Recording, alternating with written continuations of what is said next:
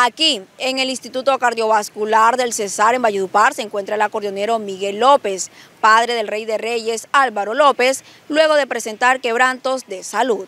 El acordeonero de 85 años y rey de la dinastía López es hermano del legendario cajero Pablo López, quien hizo una brillante historia musical con Jorge Oñate. Ha mostrado una leve mejoría luego de presentar un cuadro de bronconeumonía, indicó su hijo Alvarito López. Miguel López reside en el municipio de La Paz Cesar, rodeado del afecto y cariño de sus familiares, amigos y amantes del folclore vallenato. Recientemente, el tres veces rey vallenato Alfredo Gutiérrez lo visitó en el centro médico, donde permanece hace una semana. Tras publicar una foto en redes sociales, a Miguel López se le ve mucho mejor al lado de su gran amigo.